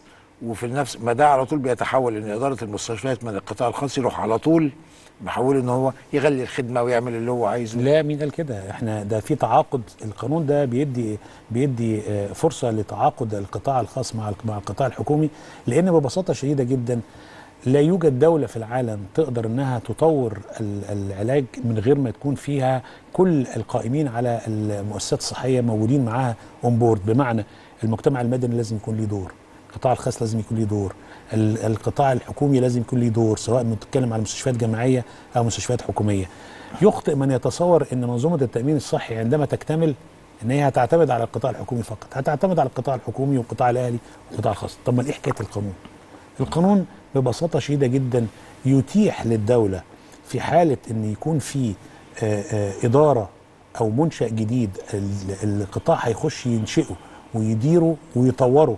لو عايز. يعني أنا لو عندي مستشفى موجودة في مكان نائي أو مكان آه، لا يوجد فيه خدمات مقدمة واستطيع أن أنا أتشارك مع القطاع الخاص بشروطي أنا وليس بشروط القطاع الخاص لأن كل من يكتب في العقد سيعدي أو سيرفع إلى مجلس الوزراء بكامل هيئته حتى يتم إقراره. فالقضية ليست قضية مش في خمس مستشفيات حصل معاهم كده؟ حضرتك إعلنت عنهم ولا مستشفى. ولا هرمل ولا هرمل في الطريق. إحنا هرمل ميزتها إن إحنا بنتعاقد مع مؤسسة عالمية زي جوستاف روسيه اللي هي في باريس اللي هي بيذهب لها كافة آه، ال- الأمراض الأورام على مستوى العالم. لأول مرة هتخرج بره فرنسا وتعمل جوستاف روسيه بس هم راحوا الكويت قبل كده وفشلوا للأسف. لا مع إحنا مع إحنا مع, مع عمرهم ما خرجوا بمسمى جوستاف روسيه. ممكن يكونوا عملوا تعاقد عملوا affiliation لكن مسمى ان ان ده الكويت جوستاف- طردت تر- الكويت طردته لا أنا ما عنديش المعلومة ديت ولا أعلم ان إن هناك أي دولة لأن تطردهم ليه إحنا بنتكلم على وأق- وأقوى مؤسسة في علاج الأورام في العالم ويذهب لها المصريين وغير المصريين للعلاج هناك بسمعة جداً طبعاً. دولية بشكل. لما تيجي المؤسسة دي وتديني 70% من الأسرة للعلاج المرضى المصريين على نفقة الدولة والتأمين الصحي يعني 70% من ال 100 سرير لو هم 100 سرير أنا بعالج المواطن المصري بمستوى جوستاف روسي وبكفاءة جوستاف روسي وبروتوكولات العلاج اللي هي منضبطة هناك وبأسعاري أنا اذا المريض هنا لن يتحمل ولا جنيه واحد في علاجه لأن في النهايه الدولة هتبعت من المريض ال- التأمين الصحي أو مريض نفقة الدولة في هذه المستشفى بهذه ال- ال- يعني. ما هو المريض في جوستاف روسي في فرنسا مثلا هفترض إن هو بيتكلف في موضوع صعب جدا زي الكانسر بيتكلف 100000 ألف يورو. صح. فالنهاردة هتيجي حضرتك هنا في مصر هيجي وهتقول له والله أنا بشروطي أنا هدفع لك في المريض آه، في المريض 100000 ألف جنيه مش 100000 ألف يورو.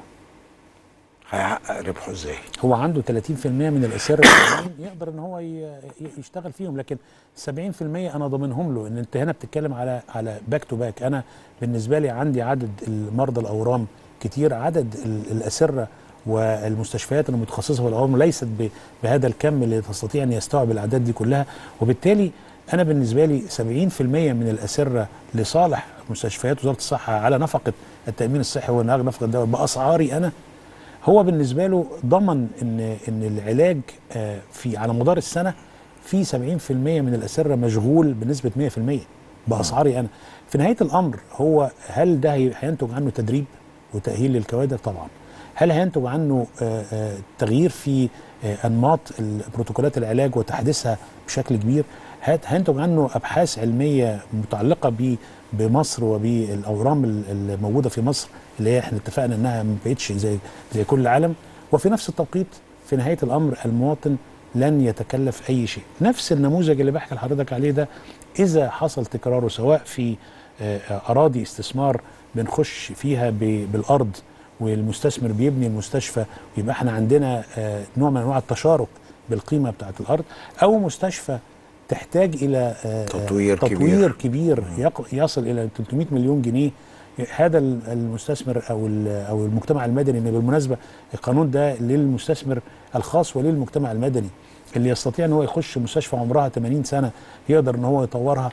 في خلال التعاقد أنا بشرط على ال على ال- اللي أنا بتعاقد معاه شروطي. العدد من ال- الم- الموظفين اللي هيفضلوا في موجودين في المكان عدد الأسرة اللي أنا هاخدها بالمجان أو هاخدها بأسعاري اللي أنا متعاقد عليها سواء أسعار المؤسسه ال- ال- التأمين الصحي. فإذا العقد في نهاية الأمر هو اللي هيحكم. لكن لا بيع وده كل ده مرتبط بمدة زمنية حد أقصى ليها 15 سنة وده ده موجود في القانون. وبالتالي لا يوجد حاجة اسمها بيع. ده أنت أنت بتدي له حق انتفاع. بالمكان في ضوء تعاقد. هو بس القلق اللي حصل مثلا لما حصل خصخصة ليه أو مش خصخصة بيع حتى لمعامل ال- التحاليل الخاصة وبيعت كذا فجأة لقينا نفسنا كلنا بندفع أرقام مثلا في التحاليل في القطاع الخاص بقت أرقام مذهلة. آه، بعض الناس شافت المستشفيات برضو اللي حصل فيها استثمار من الخارج وده شيء كويس بقت الأسعار مذهلة. ففي تجربة عندنا تخلينا نبقى قلقانين. هديك مثال أنا جربته وإحنا بنعمل النموذج اللي هرجع تاني للجامعات يعني وإحنا كان في برضه نفس المقولة في الجامعات الخاصة، الجامعات الخاصة تتغالى في ثمنها ويعني عدد الطلاب وبتشتكي الأسر والطلاب من. لما فتحنا نماذج الجامعات الأهلية وفتحنا نماذج الجامعات التكنولوجية والجامعات الدولية على طول ال ال ال الضبط حصل في الأسعار. نفس الحكاية لما يكون هناك التحكم في منظومة القطاع الخاص مقتصرة عن 10 20 30 نموذج. في- نوع من أنواع الاحتكار في ال- أسعار الخدمات. عندما تتوسع في الخدمات بأسعار العرض مختلفة يزيد ف... فبالتالي لازم كله يضبط الأسعار في ضوء. إحنا إحنا بن- بنطور مستشفياتنا ليه؟ أنت عندك قطاع كبير جدا في المجتمع اللي هو لا يستطيع انه يصل إلى المستشفى الخاصة وفي نفس الوقت هو مش عايز يروح يزاحم الغير قادر في المستشفيات الحكومية. وده ما يطلق عليه ال- ال- الطبقة المتوسطة في المجتمع المصري اللي هي مفترض إنها تكون هي الطبقه العريضة جدا في المجتمع اللي إحنا كلنا اللي هو الحقيقة بيتعالج على حسابه وبيتعلم على حسابه. وبيعمل كل حاجة على حساب بس هو نفسه. مش قادر يدفع الكشف بالقيم اللي حضرتك بتتكلم عليها أو يروح يعمل أشعة مقطعية النهارده هو بيروح يعمل بربع التكلفة دي وأقل من ربع التكلفة في المستشفيات التابعة لوزارة الصحة على سبيل المثال مستشفيات أمانة المراكز الطبية المتخصصة لو ادي مثال دار الشفاء أو شيخ زايد التخصصي أو 15 مايو أو العجمي أو العالمين. أنا بدي أمثلة واضحة. الأسعار فيها آه، يعني واحد على عشرة من الأسعار التانية. فإذا إحنا بنحاول نطور في المنظومة دي زي مبرة المعادي زي مستشفى هليوبلس مصر الجديدة زي العجوزة زي معهد ناصر كل دي مستشفيات ينطبق عليها اللي بحكي لحضرتك عليها دي. بقيم بسيطة جدا لل- للي هو لا يوجد عنده تأمين وعايز يستطيع ان هو يتحمل تكلفته من جيبه اللي إحنا بنسميها out of pocket ولكن, مش التكلفة الباهظة. ال- ال- الغرض اللي أنا بقوله ان أنا اتوسع في هذه المنظومة بشكل كبير جدا علشان استطيع ان أنا اخاطب شريحة كبيرة جدا من المجتمع من خلال هذا القانون اللي هو قانون التزام المرافق العامة لاني أنا بسهل على المستثمر بديله مبنى أو بديله ارض فبالتالي التكلفه الاقتصادية عليه ليست آه. كما كمان يبدأ من أول من أول وجديد ويبني آه، منظومة صحيه طبعا منظومة الصحة أو منظومة بناء المستشفيات مكلفة جدا مكلفة جدا في طبعاً. بنائها وفي تجهيزاتها وفي إدارتها وتشغيلها لما تصل إنك أنت بتخش تخلخل هذه المنظومة عن طريق بعض العروض سواء بقى بعروض استثمار أو استثمار للأراضي أو عروض خاصة بمحفزات للمستثمرين. إحنا بالنادي دايما عمالين نقول يعني ال- الدولة لابد أن تعطي الفرصة للقطاع الخاص. لكن إعطاء الفرصة للقطاع الخاص ليس هروبا من مسؤولية الدولة لأن أنا اللي حكيته لك ده كله بحجم 100 1214 مشروع ب 145 مليار جنيه. ده أنا شغال في كل قرية وكل محافظة سواء بوحدة صحية أو مركز طبي أو مستشفى. هنتوقف مع فاصل أخير ونستكمل الحوار مع معالي وزير الصحة والسكان الدكتور خالد عبد الغفار.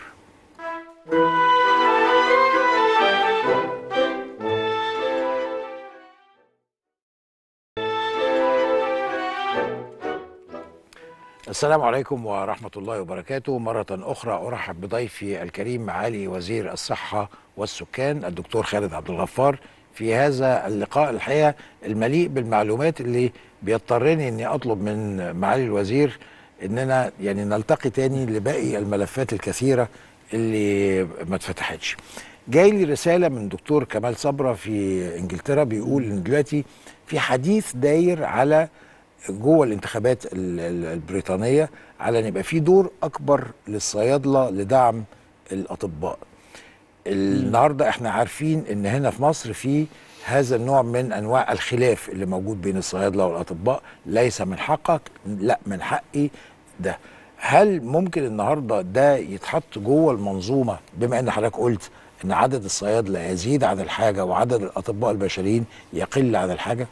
هو في العالم كله التغلب على موضوع ال- المشاكل اللي حصلت في نقص الأطباء ونقص آه، كوادر الطبية كانت فيها جزء مبني على اللي بنسميه task sharing أو task shifting بمعنى إن أنا بحاول أغير مسار بعض المهن حتى تستطيع إنها تساعد يعني. وزي اللي حضرتك بتقول كده إنجلترا بتعاني من آه، أو المملكة المتحدة بتعاني من نقص شديد في الأطباء فبتحاول تعوض هذا النقص عن طريق تدريب كوادر صحية أو كوادر لها خلفية آه، تصلح إنها ببعض التدريب. تؤدي بعض الخدمات التي يقوم بها الأطباء ليست طبعا بالضرورة أنها تكون كل الخدمات ولكن بعض الخدمات كسد لفجوات كثيرة يستطيع من خلالها الفريق الصحي.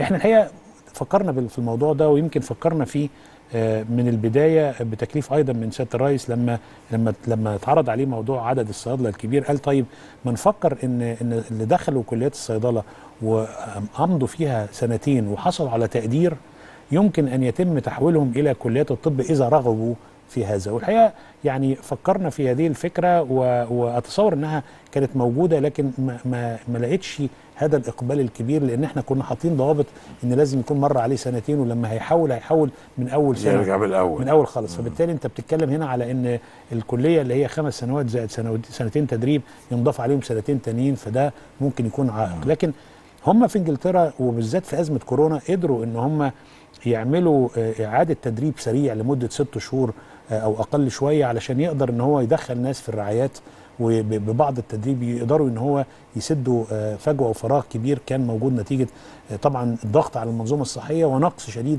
في ال- الكوادر الطبية الموجوده. دكتور كمال صبرا عن يعني طبعا هو يعني صديق عزيز وعنده من المعلومات لأنه عمل في وزارة الصحة لفترات طويلة وعمل أيضا في أيرلندا على على مستوى ال- السياسي آه، وقريب من الجهات الخاصة بال- بالصحة. فإحنا بنعمل سويا على هذه المنظومة حتى نصل إلى طريقة آه، نقدر نحل بيها ال- النقص الشديد. إحنا زي ما قلت لحضرتك إحنا عندنا زيادة في أعداد الصيادلة. النهارده هم بيشتغلوا معانا في كثير من ال- الإجراءات آه، وكثير من المهام ليست بالضرورة داخل الصيادلة ولكن في أعمال إدارية أخرى مهمة آه، محتاجة برضو خلف خلفية طبية. لكن آه، لسه ما وصلناش لمرحلة إن أنا أقدر إن أنا أدخلهم في آه، ال- الرعايات أدخلهم في العمليات الجراحية كمساعدين. وإن كان هذا النموذج موجود في أيضا الولايات المتحدة الأمريكية كنا بنستضيف وفد من جونز هوبكنز وقال لنا إن هم بيسموه assistant physicians و assistant physicians يعني أو مساعد ال- الطبيب وليست ليس بالضرورة أن يكون بخلفية طبية ولكن بيتم تدريبه حتى يكون مساعد ببعض الأعمال. بعض الأعمال ويدرب من خلالها ولا يستطيع أن يعملها دون إشراف آه، الطبيب طبيب. ولكن من المؤكد إنها بتساعد يعني. طيب طبعا ملف الدواء ده ملف كبير قوي وطبعا العملة ومشكلتها خلتنا نشوف ال- الملف ده بشكل أوضح مما كنا في السابق. فبالتالي متجهين لتوطين صناعة الدواء. إحنا قطعنا شوط شكله إيه وفاضل لنا قد إيه. طيب خليني أقول لحضرتك على على ال- ال- ال pharmaceutical market في مصر قد إيه أو سوق الدواء في مصر قد إيه. سوق الدواء في مصر في القطاع الخاص حوالي 147 مليار جنيه سنويا. ده قبل الزيادة اللي هتحصل ولا بعدها لا أنا بتكلم على ال- ال- السنة اللي فاتت يعني لو خدنا من ال IQVIA 23 آه لو نضيف ليهم ما يخص وزارة الصحة على سبيل المثال حوالي 30 مليار من 22 ل 30 مليار يعني بنتكلم على ما يقرب من قرب ال 200 مليار جنيه سنويا حجم الاستهلاك الدواء في مصر. ال- ال- الملحوظ هنا إن 70% أو أقل شوية من هذا الحجم هو آه، من خارج جيب المواطن المصري. ولصالح الصيدليات أو لمنظومة تدوير الدواء في الصيدليات. والباقي ال 30% التانيين هم للمواطنين اللي بيتعالجوا على نفقة الدولة أو التأمين الصحي اللي هو بيصرفوا الدواء بشكل منتظم. الدواء هنا مش مجرد سكر وضغط والأمراض المزمنة العادية ولكن يصل إلى إلى علاج الأورام اللي هو بيصل إلى يعني بأرقام آه، كبيرة جدا. مئات الآلاف شهريا للمواطن وإحنا قادرين على هذا وملتزمين بهذا الالتزام. لكن آه، مصر بدأت في صناعة الدواء سنة 1939 يعني يمكن تاريخ مصر في في صناعة وتوطين ال- ال- الصناعة الدوائية تاريخ آه، طويل وتاريخ مشرف الحقيقة ب- في ما يقرب من 80 90% منه من القطاع الخاص والقطاع الأهلي. هم ال- الأصحاب المصانع الأدوية. اللي من خلالهم ومع قطاع الدواء في قطاع ال- آه، ال- وزارة ال- آه، الوزارات المعنيه مع الدولة اللي هي عندها بعض القطاعات الدواء الاثنين دول مع بعض قدروا إن هم يقضوا مصر ب 95% من الاحتياجات الدوائية والدليل فترة كورونا حضرتك ما كنتش هتحس ابدا إن مع يعني الاحتياج الشديد للدواء كانت مصر في هذا التوقيت بتصدر دواء لكثير من دول العالم من ضمنها أدوية اللي تم توطينها لمضادات الفيروسات لل- للكورونا. فقطاع الأعمال مع القطاع الخاص بيمثلوا 100% من ال 170 مصنع أو الأكثر شوية.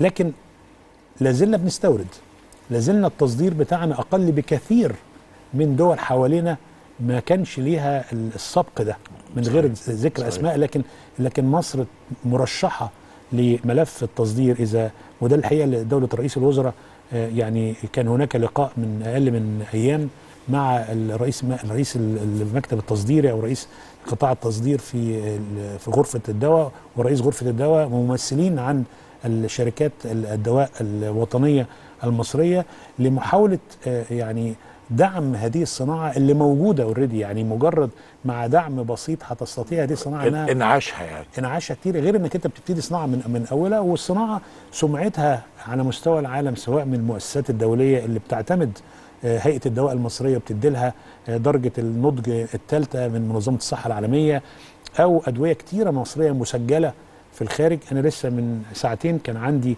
الرئيس ال- آه، الافريقي أو ال director general لل African CDC مركز السيطرة على الأمراض على مستوى أفريقيا. ومجيته في مصر كانت أصلها علشان يعني يتعاقد لأن أفريقيا أدت قرار إن لازم يكون منتجات أفريقيا من الدواء وال- واللقاحات انها النهارده أفريقيا بتع- بتعتمد في منتجاتها على 1% و99% على. الاستيراد. ال- الاتحاد الأفريقي أخذ قرار إن يعني في خلال ال- الأقل من 10 سنوات القادمة لابد أن يكون آه، منتجات الافريقيا 60% على الأقل منها من داخل مصر مرشحة كأحد الدول الرئيسية لتبوء هذه المكانة أن يكون الدواء في مصر حد. هيساعدنا في ده ولا اعملها بدراعك إزاي؟ يعني هل النهارده هذه المنظمات العالمية هتساعدنا في إننا ننشئ هذه المصانع هتساعدنا في براءات الاختراع الخاصة بأدوية لأن في أدوية خلاص ملهاش براءة اختراع ولكن في الكثير من الأدوية الحديثة وخصوصا اللي هم بيسموها آه، مش one molecule اللي هي المعقدة شوية زي أدوية السرطان وغيرها. دي محتاجة إن يبقى في تنازلات تحدث من الشركات العالمية. ما فيش كلام. ده تحدي اللي هو نقل التكنولوجيا اللي بنسميها tech transfer النهارده إحنا كنا في مدينة الدواء اللي سيادة الرئيس عملها بحاجة يعني ولا أروع اللي هي جيبتو فارما. وكانت مدينة الدواء النهارده صباحا تحديدا كانت بتمضي تعاقد مع أكبر شركة من شركات الدواء في أمريكا المشهوره ابوت بالظبط. وهذه الشركة كانت لإنتاج من خلال خطوط الإنتاج داخل جيبتو فارما كثير من ال ال ال الأدوية التي لن لن تكون فقط للمنتج أو للاستهلاك المحلي داخل مصر ولكن أيضا للتصدير. مع مرور الوقت في صعوبة طبعا في ال tech transfer لأن ال know-how بيتم آه، يعني الحفاظ عليه على الأقل 20 سنة اللي هي بنسميها ال innovators اللي هم بيبقى حق حق ال- الفكرة وال know-how لكن بعد 20 سنة في عرف الدواء بيبقى الدواء ده متاح إن هو يتم نقله وبيتم يكون هو تاني طلع دواء أجدد. بالظبط. فبالتالي إحنا في مصر آه، عندنا تحديات كتيرة في موضوع يعني توفر مستلزمات الإنتاج لأن هي هي سلعة مكلفة جدا وال ال- يعني الخامات اللازمة للمنتج النهائي والكتير يعني إحنا مش بنتكلم على بس مجرد الخامات ال- الخاصة بالمنتج اللي هي بنسميها ال active ingredients أو المواد الخام ولكن حتى الصناعة دي محتاجة آه، حواليها كثير من ال- الصناعات المغذية لهذه الصناعة. وبالتالي دي حاجات كلها برضو بتيجي من بره. فتغيير سعر الصرف وتغيير ال- اللي حصل الفترة اللي فاتت ما فيش شك إن هو أثر على يعني كثير من خطوط الإنتاج وده اللي يمكن المواطن بيحس بيها من وقت للتاني إن هناك نقص. صحيح. طبعا الانفراجة ابتدت تحصل وهتاخد شوية وقت بسيط عشان ترجع تاني الأمور ان لكن ما فيش شك إن هذه الصناعة في مصر صناعة قديمة صناعة تتميز بجودة وب- وب- وبأمان و- ومأمونية ال- ال- العلاج.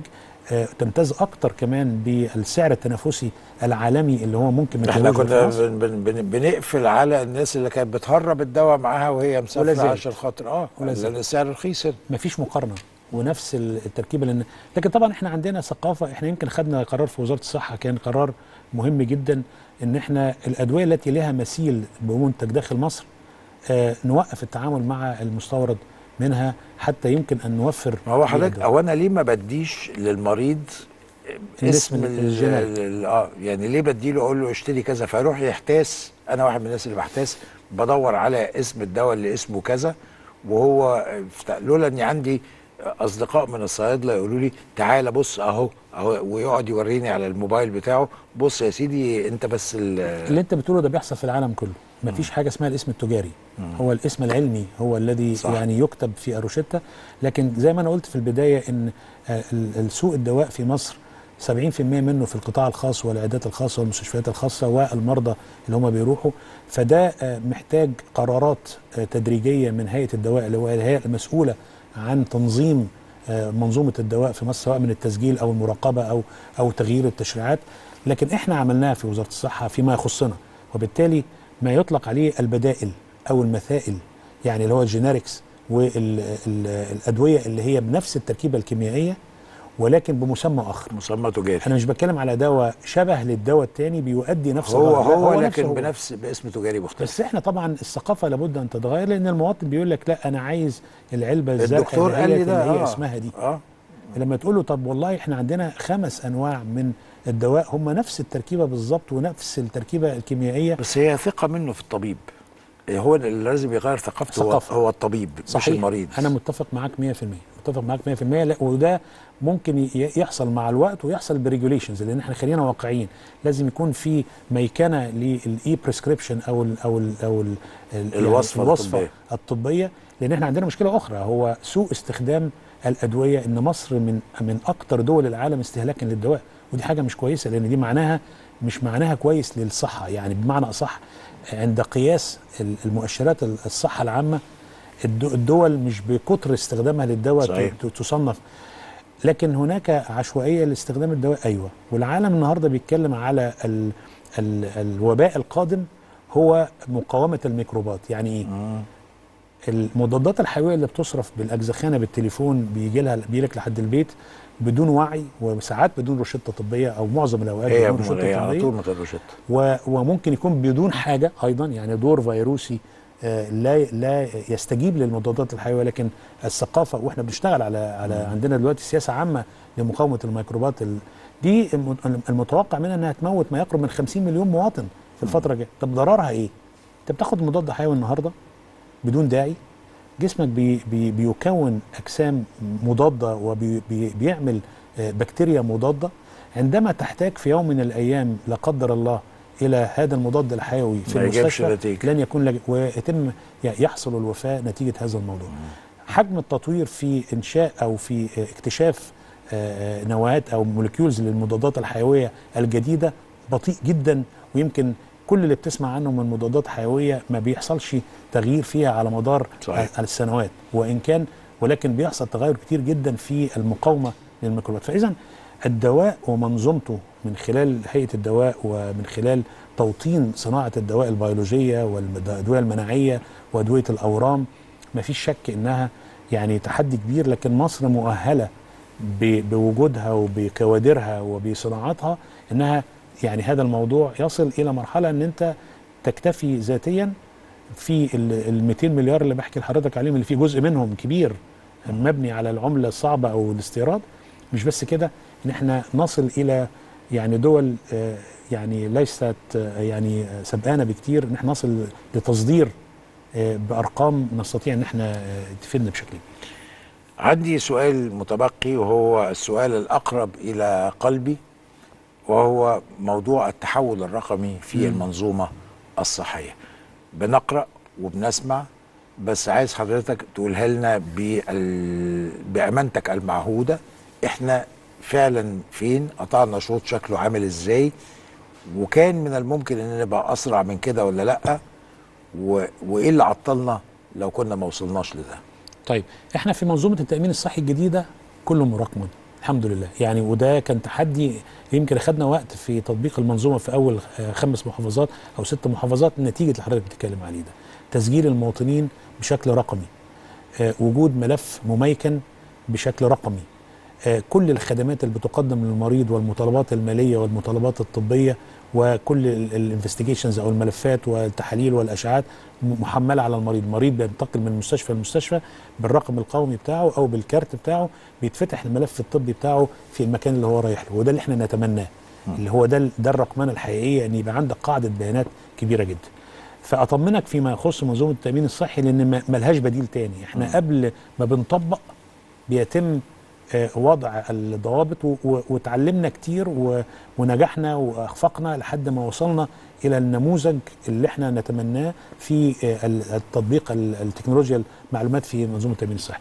لكن يبقى التحدي إن إحنا عايزين استعدادا لهذه المنظومة إن إحنا آه، نميكن كل مستشفياتنا. طبعا أنت تعلم إنها التحدي الرئيسي فيها بيبقى ال infrastructure اللي هو اللي قبل المستشفى. اللي هو عشان توصل تصل إلى مراحل الكابلات أو هتستخدم لاسلكي لل connectivity أو ال networking هنا. ثم التحدي الآخر هو داخل المستشفى عن طريق الشبكات الداخلية للمستشفى وتوفير ال ال ال النظم والتطبيقات التي تدير المنظومة الصحية داخل المستشفى من كلها من مشترياتها من ال human resources من ملفات المرضى من من إلى آخره. لكن تصدق إن كل الكلام ده ممكن ما يبقاش صعب لكن الصعوبة الحقيقية في تغيير ال- ال- ال- الفكر للإنسان الداخل المستشفى في تقبل للتكنولوجيا بدل ما بيكتب في ورقة. هو ده التحدي الحقيقي. طبعاً. وأنا كنت في الصين. واجهت الصين نفس المشكلة لكن طبعا تغلبت عليها آه، بشكل كبير آه، يعني أنا أنا رحت مستشفيات خاصة ضخمة جدا موجودة هنا في مصر أعلم تماما إنها عندها أنظمة مترابطة مع بعضها البعض. لكن وقفت لما تقف كده عند الخزنة أو في الاستقبال وتشوف الملف الورق آه. اللي بيتعمل شكله مزعج جدا وأنت حضرتك عارف إن عندهم السيستم وشايفه قدامك لكن هو الملف الورق حلو.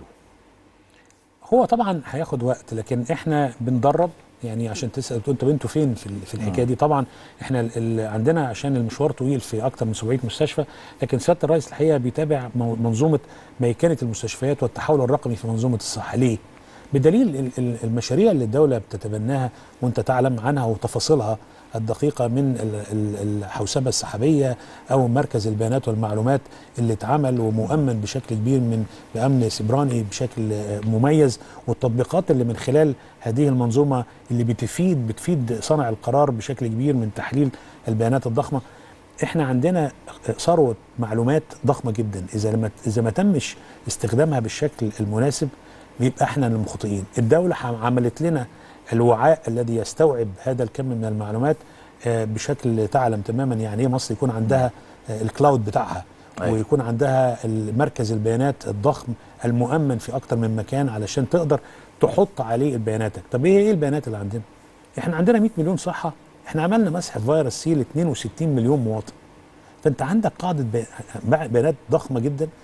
اللي المقبلين على الزواج إحنا عندنا من من سنة ونص كل اتنين بيتم آه، عقد زواجهم لابد أن يعدوا على وزارة الصحة علشان إجراء كشف فيما يخص أمراض وراثية آه، أو أمراض وبيتم مزمنة. فعلا يا فندم ولا. ولا شكلي لا ما فيش شكلي فيها لا ما فيش شكل فيها ممكن يكون في بعض ال- المشاكل في التطبيق ولكن إحنا مصممين إن ده ده ده, ده لا يستطيع المأذون إن هو يعقد العقد من غير ما يكون البيانات المؤمنة اللي موجودة من من خلال ال- الشركات المؤمنة للدولة في في في الشهادات.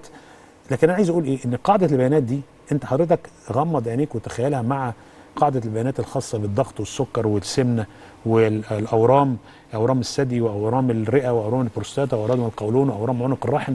كل دي بيانات لناس. أنت لو ما عندكش مكان تحط فيه هذه البيانات وما عندكش. تطبيقات وتأمنها. وما عندكش لأن فيها خصوصية وفيها ethics أو فيها يعني جزء كبير العالم بيتكلم فيه وهو خصوصية البيانات وتأمينها لعدم استخدامها فيما لا, مخصص له.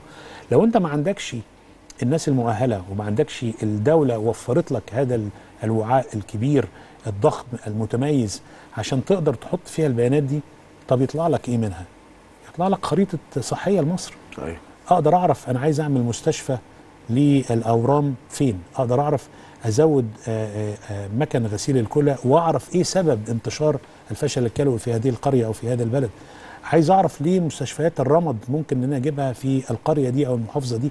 وأبحث فيما وراء أسباب الاسباب المرض كل الكلام ده هو ما يطلق عليه عصر المعلوماتية وعصر المعلومات دون أن يكون هناك بيانات ومعلومات مدققة و- وأيضا آه، معتمدة تستطيع أنك تستدعيها في وقت معين بناس مؤهلين وتجري عليها ال- الاختبارات والتطبيقات لن يكون هناك طب. وهذا هو طب المستقبل. غير إني سعيد بلقاء حضرتك وبالمعلومات الغزيرة اللي حضرتك قدمتها لنا. أنا سعيد إن حضرتك آه، حاطط إيديك بشكل عملي وفعلي جوه كل الملفات. بحييك وإن شاء الله هذا الملف نشوف فيه التطور الأسرع في الفترة القادمة. وبشكر حضرتك شكرا جزيلا إنك شرفتنا النهارده. أنا اللي بشكر حضرتك على هذا اللقاء. أنا استمتعت.